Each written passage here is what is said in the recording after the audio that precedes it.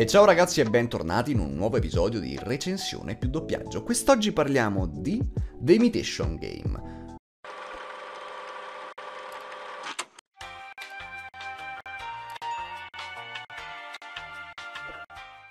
Parliamo praticamente di un film della seconda guerra mondiale, un po' diverso dal solito.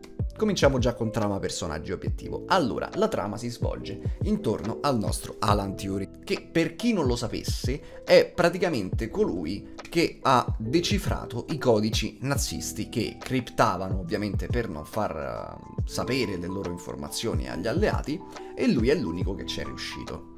E gira tutto intorno a questo, ha un personaggio praticamente autistico e che ha un sacco di problemi. Eh, omosessuale all'epoca, quindi che era un problema all'epoca perché comunque beh, era difficile sopravvivere.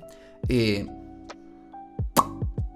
praticamente la bellezza è questa, cioè il fatto che nessuno gli dà retta anche per questi motivi, in quanto appunto... Beh, eh, a parte che appunto anche quello che fa è azzardato e qualsiasi persona sana eh, non direbbe di sì.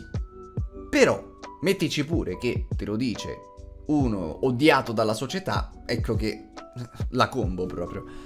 E niente, praticamente parla di lui che appunto si, si, si appresta a trovare la soluzione per, per scoprire i codici nazisti e niente, fine. Praticamente è questo. È la sua vita più che altro a condire il tutto. E anche il personaggio qual è.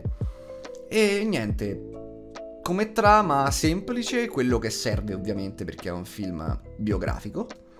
E 7. Poi, personaggi. Allora, c'è lui. Poi c'è la sua squadra di criptografi. E poi ci sono due tizi del governo. E poi c'è questa ragazza che era tipo bravissima con i numeri. Allora, io non so se questa ragazza sia esistita. Non mi sono informato sinceramente. Non so se è stata inserita per qualche motivo di far vedere il girl power dentro al, al, film o se era veramente così, ma comunque non dà fastidio, perché è comunque fatta bene ed è fatta da un'attrice spettacolare che è Elizabeth di, eh, di Pirati dei Caraibi. E eh, praticamente lui fa un, un quiz in cui tutti quanti devono partecipare, insomma, e, e lo vince lei.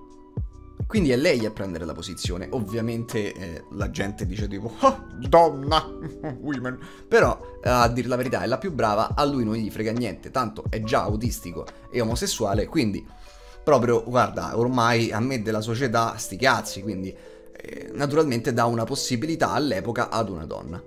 E poi c'è la sua squadra che è composta da alcuni che gli danno un po' più retta, eh? poi ci sta uno che invece è un po' più stronzo, che però comunque per il bene del paese gli dà retta, ci collabora anche e poi diventano anche amici. E poi ci sono praticamente due tizi del governo, appunto, uno che appare due volte, mi pare, una cosa del genere, che è quello che gli dice di fare le cose, e, e l'altro che è quello che praticamente gli sta un po' più appresso di, di grado minore.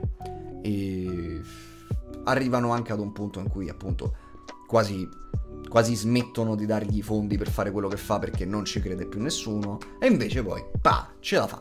E le sorti della guerra cambiano anche per questo.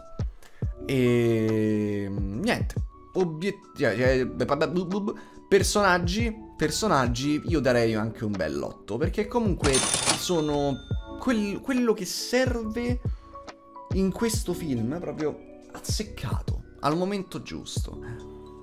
Ci sta, ci sta un botto. Anche se fosse appunto una scelta registica mettere di inclusività una donna che fa quella cosa.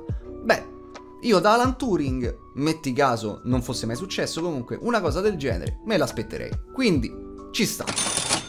E quindi obiettivo 8. Sì, obiettivo. Porca. Eh, personaggi 8. Comunque anche l'obiettivo è 8. Quindi sti cazzi. Perché? Perché comunque ehm, è un film che vuole portare una cosa biografica.